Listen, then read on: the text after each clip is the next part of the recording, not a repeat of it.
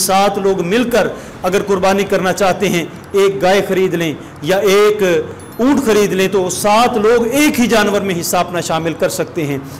आठवां बंदा उसमें शामिल नहीं हो सकता। पिछले दिनों मुझे अपने गाँव की तरफ़ से एक मसला पूछा गया, जिसमें यह बताया गया कि हमारे गाँव में कुछ लोग कुर्बानी करना चाहते हैं। सात लोग हिस्सा शामिल करने के बजाय आठ लोग हिस्सा शामिल कर रहे हैं। दो बंदे ऐसे हैं जो गरीब हैं वो दस दस हज़ार करके, बीस हज़ार रुपया जमा करके एक हिस्सा उन्होंने दिया है तो क्या इसकी कुर्बानी हो जाएगी? तो ऐसी कुर्बानी बिल्कुल नहीं होगी। न सिर्फ़ उन दोनों की, बल्कि उस जानवर में जितने लोग भी शरीक हैं, उन तमाम सात आठ लोगों की कुर्बानी नहीं होगी।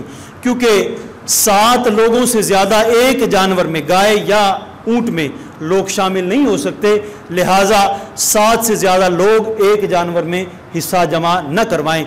अगर कोई गरीब है, वो ज़्यादा हिस्सा नहीं जमा करवा सकता। और जहन में ये है कि आधा हिस्सा मैं जमा करवा देता हूँ, आधा हिस्सा मेरा भाई जमा करवा देता है।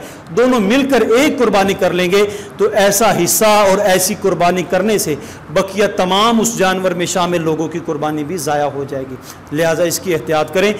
ऐसे लोग अगर गरीब हैं और वो कुर्बानी का शौक़ रखते हैं तो जो अमीर लोग हैं, उनको चाहिए बकिया उनके जो हिस्से कम पड़ते हैं, जो पैसा कम पड़ता है, वो आप लोग उनको पैसे दे दें और कहें, इस पैसे के मालिक आप हैं, मैं हम आपको तोहफ़तन देते हैं।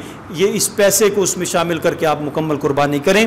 तो ये तमाम मसाइल जो हैं, इनको बुरुए कार लाते हुए आप कुर्बानी करें।